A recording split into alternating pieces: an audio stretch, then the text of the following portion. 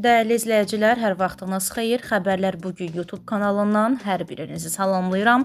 Videomuzu maksimum bəyənib kanala abunə olun.